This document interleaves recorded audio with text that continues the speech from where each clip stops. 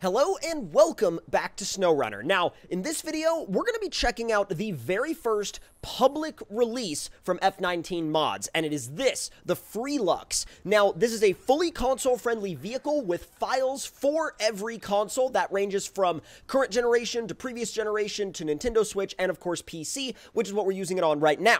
Now, at the time of recording this video, it has not yet been approved for consoles, but uh, check back on your uh, particular console's mod browser if you are watching this video later on in the future, and if and when it does get approved, which I'm sure it'll get approved approved at some point soon, I will uh, make a pinned comment in the uh, comments down below just to let you guys know that it has, of course, been approved. Now, this is, of course, based on a Toyota Hilux, and this is actually the fully stock form that it comes in. This is with no customization at all, apart from changing the paint color. Now, before we get to the driving, we're going to take it into the garage, and we're going to see what kind of customization options we have. But if you want to skip ahead to the driving, I also completely understand if you want to do that. But for those of you that want to keep an eye on the customization, keep watching, so let's fire it up and get it in the garage.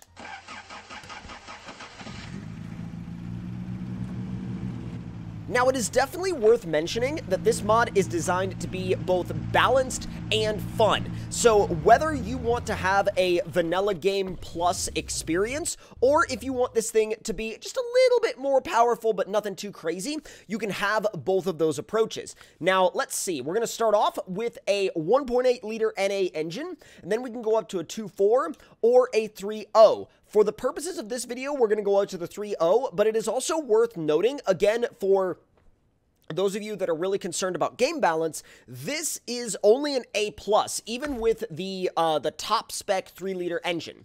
Now, gearbox-wise, you got the stock gearbox, the off-road gearbox, and the highway use gearbox. We're going to use the off-road gearbox for sure, and then as far as suspension goes, we're going to be doing uh, probably just the, the lift. I mean, th there's not much that the lift adds apart from like a, you know, it's an extra one inch of height, but I wonder if the lifted suspension or the lifted version of the suspension will give us maybe a little bit more flex, a little bit more suspension droop, a little bit more down travel. We'll have to wait and see.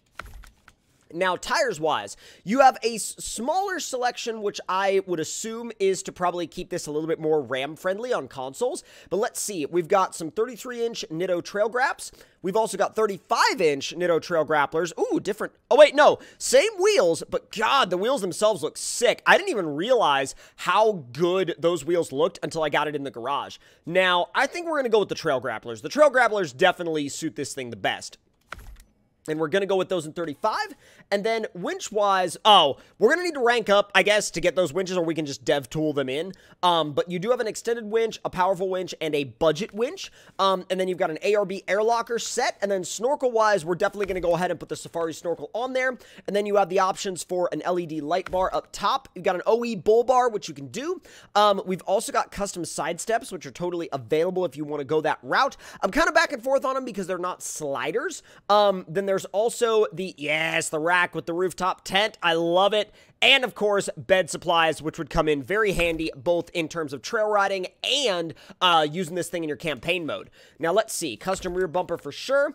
And, ooh, Let's see. I am actually really digging this custom front bumper. I just don't know about the antennas. I'm back and forth about the antennas. They're really cool, don't get me wrong, but I'm back and forth about whether or not I actually would want to keep them on there. Now, let's see. We've got some custom beadlock wheels, and what are these? Oh, these are more of like a like a steel wheel style, and then of course you've got the stock wheels. We're going to go with the custom beadlock wheels. And then in terms of color options, you've got a massive range. Yo, look at these!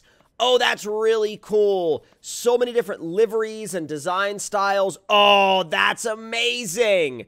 TRD livery. That's so cool. We're definitely going to do that. And we are also, of course, going to throw beans on the dash. And then now it's time to take this thing out on some trails and see what it's all about. Now, map-wise, we are on the Rockingham map at the moment because Rockingham is a really good map to use to kind of like get a sense of how something is going to be on the trails, but not necessarily take it into, you know, like full-on rock crawler, rock bouncer territory. You know, even with that A-plus power to weight rating not seeming like a lot compared to some other vehicles, it's still fast. And you know what? It looks like it's to have some decent flex, too. Oh, boy. Yeah, those roots are kind of in the way, aren't they? Let's go around this side. Easy. But here's the thing. We're going to have to avoid that tree. Oh, that tree is, like, exactly where we don't want it to be, isn't it? There we go. Lockers, make sure they're on. And a, another thing to note is that the lockers on this truck are fully switchable. They're not on all the time. I know that when I did a video recently um, where we talked about the differences between mods and vanilla vehicles and game balance came up as a topic, some comments specifically referenced, well, anything with diff lock always on is automatically OP. And while I don't necessarily agree with that, if that is something that you feel, um, this does give you the option to turn the lockers on and off. Easy. Little bit of damage on the corner of the bumper there, but it's not too bad. The interior view is also amazing. Both the tach and the speedometer are fully functional. We've got the classic style Toyota steering wheel in here. You can see all of the, like, literally all the details on the interior. You can see your transfer case shifter. You can see your gearbox shifter, your AC controls. It's all there. It is absolutely all there for you. Keep in mind, this is also just standard low. This isn't even low plus, and this thing is just absolutely doing an amazing job. Although, I kind of messed up my line there. We're going to need to take a little bit of a different line through this obstacle. Give it a little bit more wheel speed. It does not seem like it's into that. Let's see if we can give it... Oh, there we go! Little bit of a wheel speed bump, and then put it back into low, turn the lockers back on. So it's actually interesting because even though the lockers weren't on, the extra wheel speed of it being in automatic mode was actually what gave us that little bump that we needed over the obstacle. So it really all comes down to the strategy that you want to use when you want to use it, and how it affects your current situation. There we go. Got a little bit of extra. Oh no, we slid back down. Work the front wheels. There we go. Oh, look at that wheel lift, dude. Look at the flex on that. That's basically fully stretched out. It's fully tucked in in the back, too. Such a beast of a little truck. I love it. And the fact that this is basically designed to be able to run on every single system, including Switch, like, you know, previous gen, next gen, well, I guess it would be current gen, and then Switch as well, and PC. Yo, this thing is literally designed around the concept that everyone should be able to enjoy it, and I absolutely love that. And I've always loved this particular style of Toyota too. This style and this generation of Hilux uh, will always have a very special place in the off-roading community just in general, whether or not you're a Toyota fan. I mean, even people that are not dedicated Toyota fans, they know these trucks, they enjoy these trucks, and even if they're not a fan of them, they can always respect them, you know? Just for their sheer, like, strength and capability and resilience, dude. The grip is really well tuned as well because it's not over the top levels of grip, but it's just enough to where you're like, oh yeah, I could totally get some work done with this thing.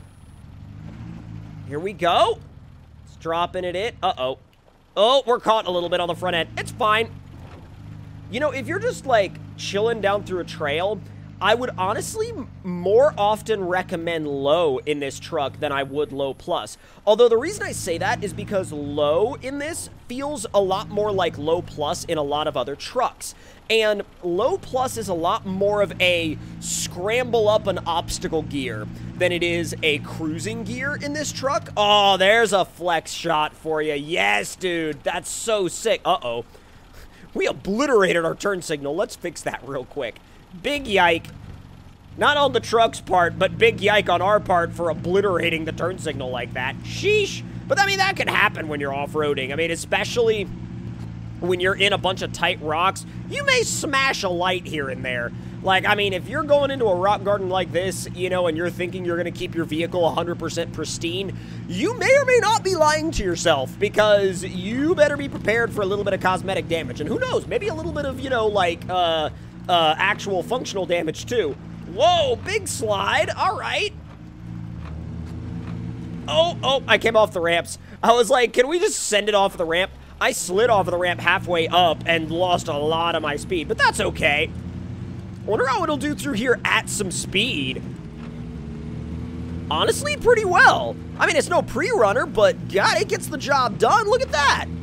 The high-speed suspension performance isn't bad at all. It's actually it's actually really good, especially for something that you would think is predominantly designed around, you know, slow-paced trail riding. When you kick the speed up a notch or two, I mean, I hit a root there, so oh, don't worry about that, but when you kick the speed up a notch or two, it goes. I mean, it still gets down and gets to work.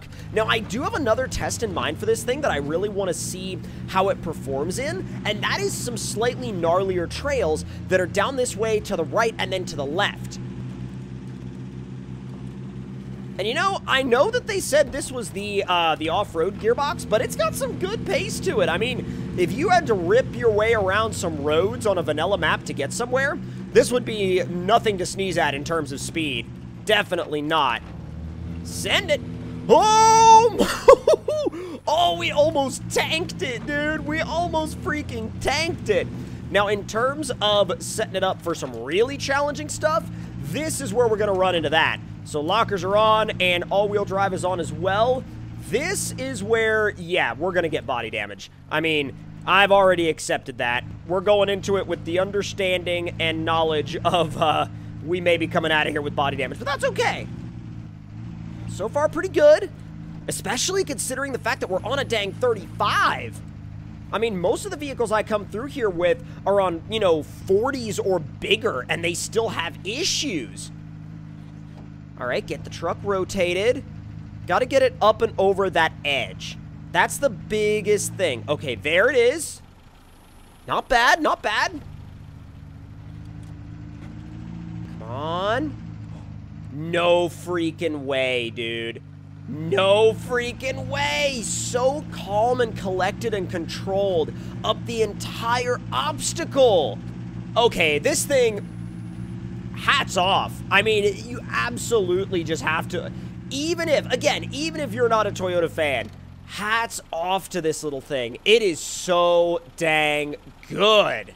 But if y'all enjoyed this video and this look at this truck, let me know your thoughts and opinions on it in the comments down below. And if you're new around here and you would like to stay up to date and of course see more, hit that subscribe button and turn those notifications on. And I will see y'all next time.